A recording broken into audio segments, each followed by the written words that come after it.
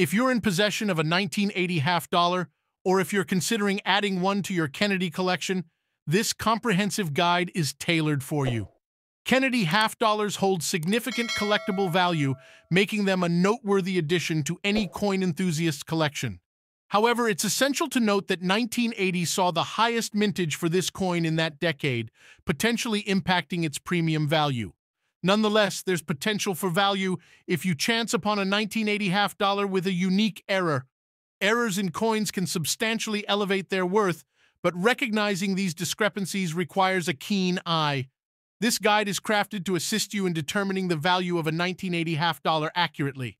Within, you'll uncover insights into errors that could fetch hundreds of dollars, guidance on grading your Kennedy dollars, and lucrative varieties of 1980 half dollars. Let's delve into the details. Is a 1980 half dollar worth anything? The 1980 half dollar belongs to the esteemed Kennedy half dollar series.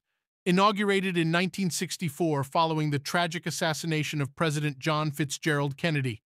In the aftermath of the nation's mourning, plans swiftly emerged to immortalize the fallen president on a coin. Mint director Eva Adams granted chief engraver Gilroy Roberts the green light to design a commemorative Kennedy half dollar. Jacqueline Kennedy proposed replacing Benjamin Franklin on the half dollar instead of George Washington on the quarter. These proposals necessitated congressional approval, fortunately facing minimal legislative resistance. The new president, Lyndon Johnson, played a pivotal role in expediting the introduction of the commemorative coin. The half dollar, designed to honor President Kennedy, prominently features his profile on the obverse. Chief engraver Gilroy Roberts deemed the left-facing profile as the most aesthetically pleasing portrayal of the president. The word Liberty is emblazoned boldly across the top half of the coin, with the year date 1,980 inches inscribed at the bottom along the inner rim. Our national motto, In God We Trust, is also displayed on the obverse, with In God on the left and We Trust on the right, separated by JFK's profile. The reverse of the half dollar is intricately detailed, showcasing the presidential seal design featuring the national bird, an eagle. With its wings outstretched, the eagle grasps an olive branch in its left talon and 13 arrows in its right, symbolizing peace and war, respectively.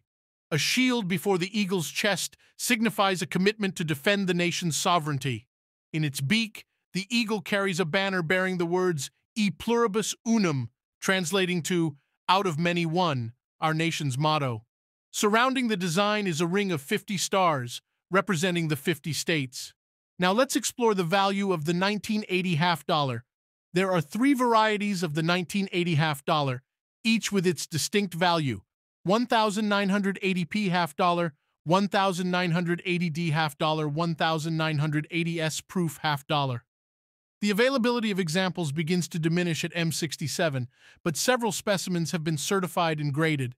Finding 1,980D half dollars graded MS68 and above is exceedingly rare, and those that are found command a premium. Circulated 1,980D half dollars typically range in value from 60 cents to 75 cents.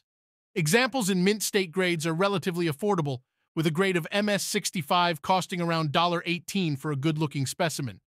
Gem quality examples are exceptionally scarce, with prices soaring as high as $4,350 for specimens graded accordingly.